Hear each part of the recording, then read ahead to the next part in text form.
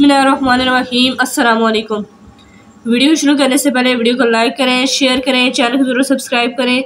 आज मैं बनाना सिखाऊँगी अखरोट का मिल्क शेक अखरोट का मिल्क शेक किस तरह किस तरीके से बनेगा, ये जाने के इस वीडियो को पूरा देखें।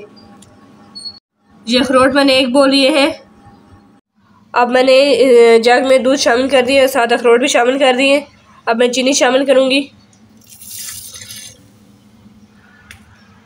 अब मैं इसे ब्लेंड करूँगी। अब हमारा अखरोट मिल्क शेक तैयार हो गया है। अब मैं इसे ग्लास में सर्व करूँगी और आपको दिखाऊँगी। माशाल्लाह से हमारा अखरोट मिल्क शेक तैयार हो गया है। इस मिल्क शेक को ज़रूर ट्राई करें। अपनी राय का इजहार करें बॉक्स में ज़रूर दें। वीडियो को लाइक और शेयर करें।